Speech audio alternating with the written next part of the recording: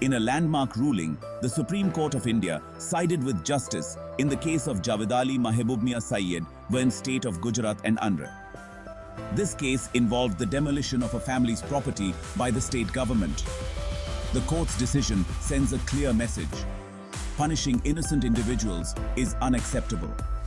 This victory resonates far beyond the affected family.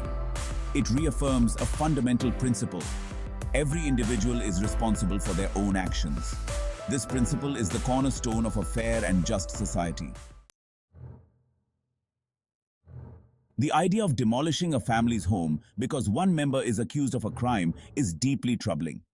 It harks back to a time when collective punishment was the norm. Imagine losing your home because of something your relative allegedly did. The Supreme Court recognized the danger of such a precedent. Allowing the state to seize property based on mere allegations would have far-reaching consequences. It would create a climate of fear and insecurity. People would live in constant dread that the actions of others could lead to the loss of their homes. The court's decision acts as a crucial safeguard against such a dystopian scenario. The Supreme Court's judgment endorses the rule of law. It ensures everyone is subject to the same laws. It protects us from arbitrary government actions. The court emphasized that due process must be followed. Everyone has the right to a fair hearing. Demolition without trial violates this fundamental right.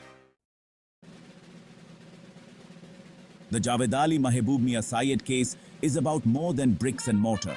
It strikes at the heart of India's democracy, the rule of law and protection of individual rights. When the government acts as judge, jury, and executioner, it undermines our society. The court's decision reminds those in power.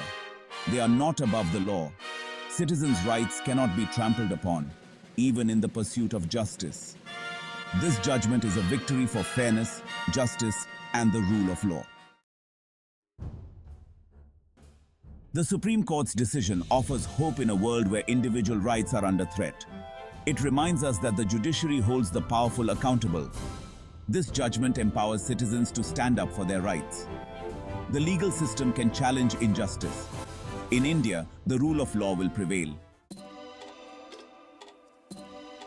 The Javedali Mahebubmiya Saiyed case underscores the judiciary's crucial role in safeguarding our democracy. As citizens, it is our duty to remain vigilant in defending these principles.